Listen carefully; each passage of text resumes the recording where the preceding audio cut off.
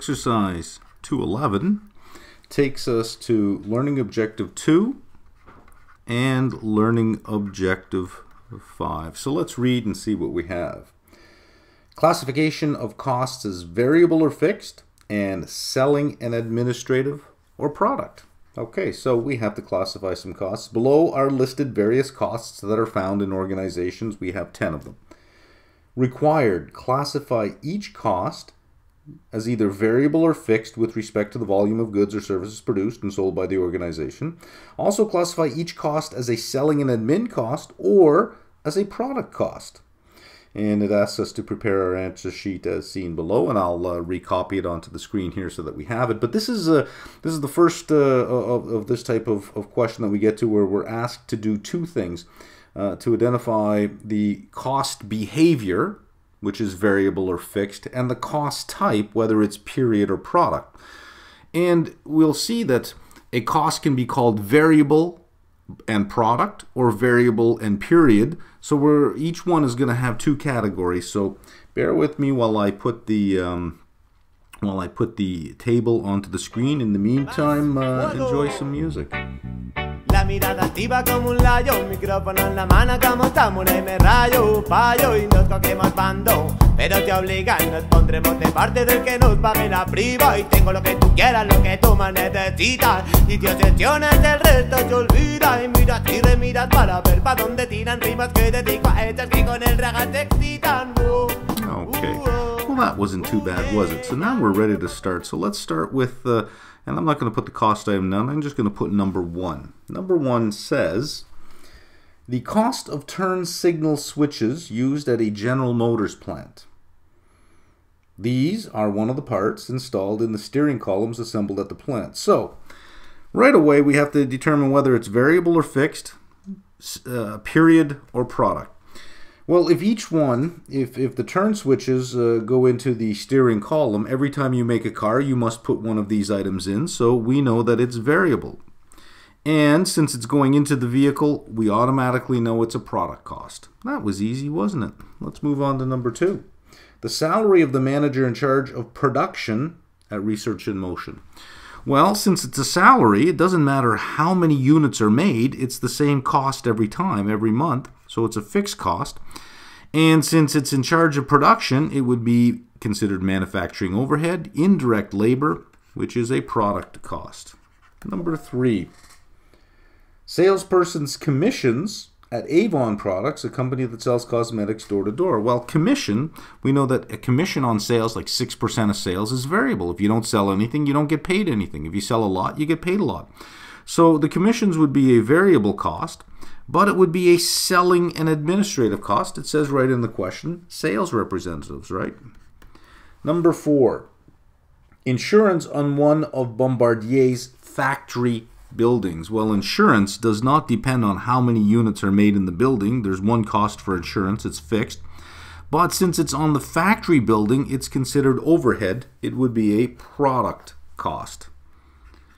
Number five, the costs of shipping brass fittings from Graham Manufacturing's plant in British Columbia to customers in California. So we're shipping finished goods to customers. Well, every time we ship, if we ship nothing, it costs us nothing. If we ship one unit, it costs us the, what it costs to ship one. If we ship 10, it will cost more. So we know that shipping per unit is variable, and it is not a product cost because the product is done now. It is after the finished good is being shipped to the customer, so it's a selling and administrative charge. Number six, depreciation on the bookshelves at Reston Bookstore.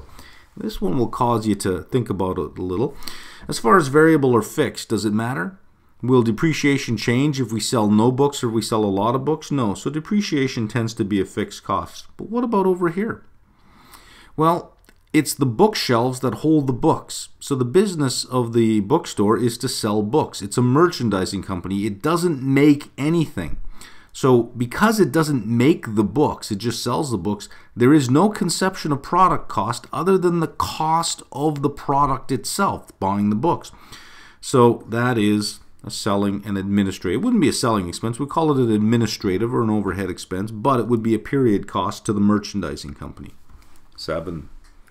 The cost of x ray film at the Toronto General Hospital's radiology lab. Every x ray requires film. No x rays require no film, so we know that's variable. Is it selling or is it product cost? Well, one of the questions that uh, I, I didn't do, but if you had done it, if we flip back over to uh, uh, 2 6, identifying examples of indirect and direct costs, we would have seen that uh, um, for a particular customer, a customer can be considered a product and that when we do something around a customer, we attach costs to that customer. So when we look at uh, the cost of x ray film, we would attach that to a particular customer.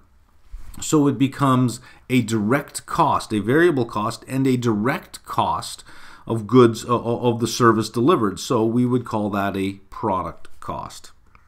Eight. That one's a little tricky, isn't it? Eight. The cost of leasing a toll free telephone number at Staples the monthly charge for the toll free number is independent of the number of calls taken. So take one call or take 500 calls, it's the same price for the lease, so we know that's a fixed cost. And it's a toll free number for Staples. Staples doesn't make anything, it simply just sells stuff. It buys stuff that's already made from, from manufacturers and it sells it. So it has no product cost in that sense. It would be a period cost. Number nine, the depreciation of the playground equipment at a McDonald's outlet. Well, depreciation we know is a fixed cost. And since the playground has nothing to do with the product that they make, it's just an extra thing added to bring customers into the store, we know that's a selling and administrative cost. You don't need the playground to make burgers. The cost of mozzarella cheese used at a Pizza Hut outlet.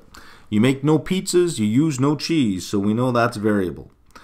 Uh, but is it selling an administrative or product? Well, the cheese goes onto the pizza, which is then sold. So you could think of the pizzeria as a man is in the business of manufacturing and selling pizzas. So it would be a product cost, and this is how we classify um, variable versus fixed versus product versus period. Uh, and we can see that uh, just because something is a selling and administrative cost doesn't mean it can't be variable. We see over here that we have a variable cost here. And just because something is a, a product cost does it, it can be either and we the first two are product costs it can be either fixed or it can be variable so that's a that's a good little lesson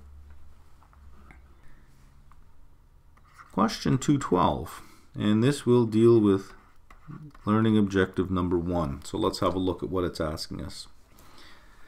Greg Powers is employed by Gussie Company, I guess it's Gussie, uh, where he assembles a component part for one of the company's products. Greg is paid $14 per hour for regular time, and he is paid time and a half uh, for all work in excess of 40 hours per week.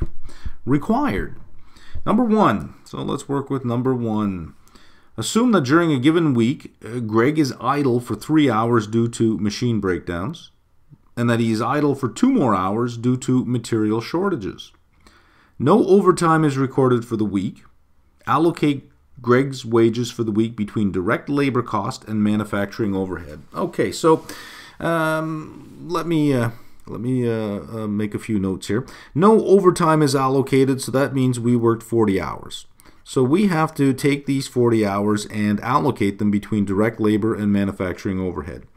Well, let's look at our idle time.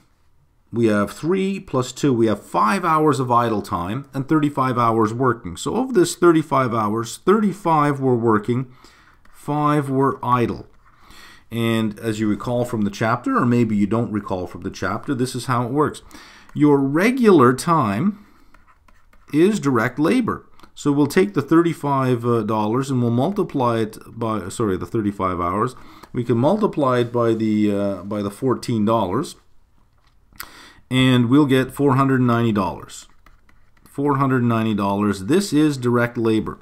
Our idle time, we do not charge as direct labor, however.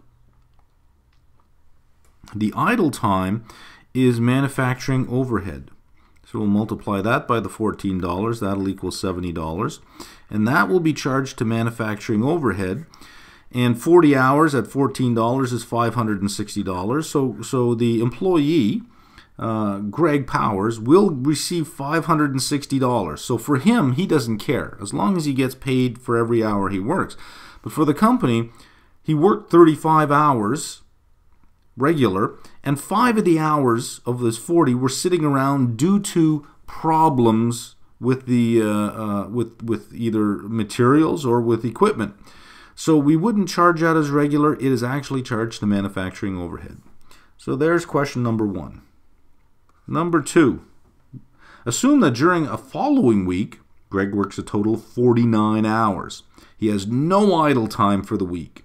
Allocate Greg's wages for the week between direct labor cost and manufacturing uh, uh, overhead cost. So let's start. We always start by writing down the total number of hours, 40.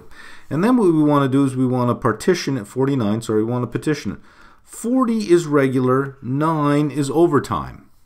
Of the regular, we want to break that down into the hours worked and idle time and it says there are no hours idle. Even if there are no hours idle, get used to putting down that that little this little uh, uh, um, sort of decision tree that we're making. So zero hours idle equals zero dollars.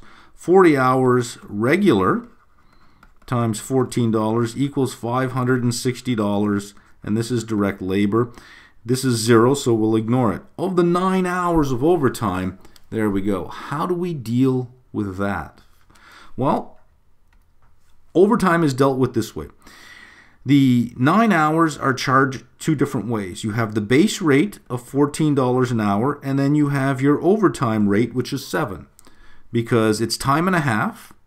The pay is $14, so time and a half is 21. So these nine hours, uh, Greg will make $21 an hour. 14 of it will be considered just regular hours sorry, the $14 worth will be considered regular hours. The $7 is considered the overtime premium. And now this is how it breaks down. Of the nine overtime hours, we multiply that by uh, uh, by $14. That'll give us $126, and that is direct labor. Only the overtime premium for these nine hours, the $63, only the overtime premium is considered manufacturing overhead. So, uh, our direct labor hours are five. Our direct labor cost is 560 plus 126. So our direct labor will be charged 686 dollars, and our manufacturing overhead will be charged 63 dollars. And that's how we break it down. So we just to recap, 49 hours, 40 is regular, 9 is overtime. Of the 40, 40 is, is worked, 0 idle, so we don't have to worry about anything here. If there was idle time, we'd handle it this way. We'd be manufacturing overhead. Of the 9 overtime hours, the base rate is charged to direct labor. Only the overtime premium is charged to manufacturing overhead. There is number 2. Let's look at the final one, number 3. Number three says Greg's company provides an attractive package of benefits for its employees. This package includes a retirement program and a health insurance program. Explain two ways that the company could handle the costs of its direct laborers' employee benefits in the cost records. Well, let's start out with the most uh, the most direct and most obvious uh, and the most practiced way to do it uh, for for uh, direct labor the benefits. Any benefits uh, are added uh, are, are added right to the direct labor base rate. Are added to the direct labor base rate. They're added right to it, so we come up with one number that includes all the uh, all the uh, benefits. That's the most common way it's done. But an argument could be made here that we have retirement benefits and health benefits and that retirement benefits really depend on the hourly rate that you're working because usually your retirement benefits are a certain percentage of your annual income. So that it's easy to allocate to the base rate the benefit for the retirement benefit simply because it's a variable cost. It varies with the base rate. So the uh, uh, the retirement benefits this is where classifying cost as variable or fixed helps. The retirement benefits are variable with the base rate. If I make more money, uh, I put more money, I, my pension benefits increase. If I make less money, my pension benefits decrease. So, for instance, uh, uh, it's quite typical for uh, most employees to have a deduction of up to 6%, uh, sometimes as high as 10% off their pay, uh, which is then matched by the company as a retirement benefit. So if I take $10 off my paycheck, the company will match it with another 10 and put 20 into a retirement account for me. So it doesn't charge me the 10, it charges the, the, the company would pay the extra 10 themselves and then take my 10 and off we go.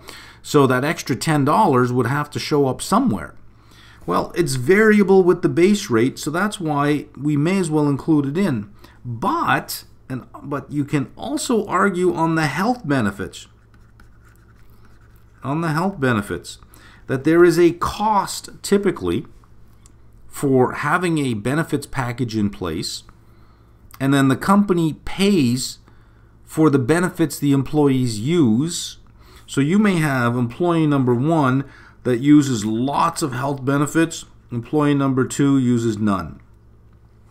So in this case, it would be difficult uh, or at least hard to justify taking all of the health benefits and applying it to each of the base rate hours when you might have 10% of your workforce using 99% of the health benefit costs. So for the health benefits, rather than apply it to the base rate, you could argue since this tends to be a bit more fixed and not so variable with the wage rate, tends to be a bigger fixed cost, that we can apply it to a manufacturing overhead as opposed to because it isn't variable with the base wage rate.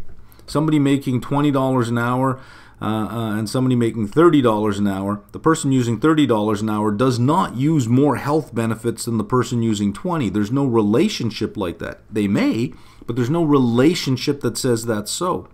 But somebody making $30 an hour will cost the company more in retirement benefits than somebody making $20 an hour. So that's why when it's variable, you can charge it right to the base rate.